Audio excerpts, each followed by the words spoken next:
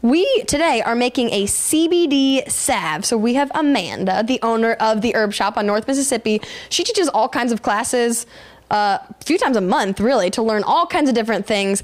And today we are making a CBD salve. Is this something easy enough people could make at home? Absolutely. You can pick up the products yourself already made and infused, and then you can just mix it together with some beeswax and you have your salve. So, what do we have in the pot so far? So, we currently have select CBDs, unflavored CBD oil, and a little bit of beeswax. Okay, and the CBD oil, just to be clear, so there's CBD and there's THC. They both come from the hemp plant, but what does the CBD do? So they both come from the marijuana plant, but the um, the CBD is great for helping to ease any pains in the body. Um, you, you, know, that's how I like to use it. Um, so it's just, it's another way that's hot on the market as far as the products that are coming out from beverages to salves. And so it's used in that way. Yeah, but CBD will not get you high. It is totally different from THC, also totally legal. Yes, it's 100% legal in the United States right now. Okay, so so far we've got the beeswax in there with the CBD oil, and it looks like the wax is starting to melt. Yeah, it's starting to get a little melding here. It'll take it a few minutes for that to become one solid unit. Mm-hmm. And then what else do we get to add? And then we're going to add a couple other oils that we make here at the shop. We've got some arnica oil and some hops oil.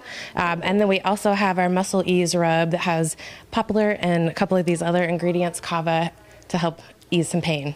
Okay, you pouring that one in there? Mm-hmm. Okay, got the muscle. What did you call it? Muscle. muscle ease. Muscle ease. I went skiing a couple days this weekend, and I have some sore muscles, so this sounds very handy. Yeah, great. This is some hops. So just like the hops that you get for brewing, they have lots of nervine properties, so it can help with relaxing the body when it needs that. Uh-huh. And then we have arnica, which is an old time favorite used in lots of ancient cultures for.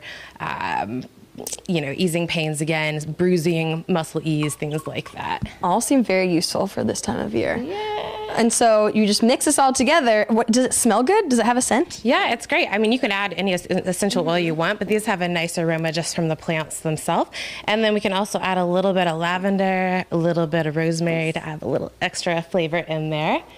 Okay, so while we keep mixing this up, so again, it's a CBD salve. So where would you use this? Anywhere on your body? Um, I personally like to use it anytime I have sore aches and pains. So, you know, anytime I have joint pain, going skiing, playing, mm-hmm. you know, on the mountain, going for a long bike ride, you know, I like to personally just use it that way at that time. When the when the weather starts to get nicer out like it is right now, we all want to go do active things and then we'll probably end up with sore muscles. And that's right. We want to go play and have some fun. Yeah. So, yeah, be ready to ease the pain. Okay, so you keep mixing and wow, really all the wax has has totally yeah. melted in there with the CBD oil. And then the final step, you would you let it cool and then you pour it? Um, so typically you're going to let it cool down to about 80 degrees, and then you're going to add the essential oil. So there's a candy thermometer here if you want to put that in there, um, and you would just watch it till it gets down to 80, okay. and then you'll add your essential oils. That's going to actually hold it in there a whole lot better. Uh-huh. So and then when you finish it up, then basically you just pour it into one of these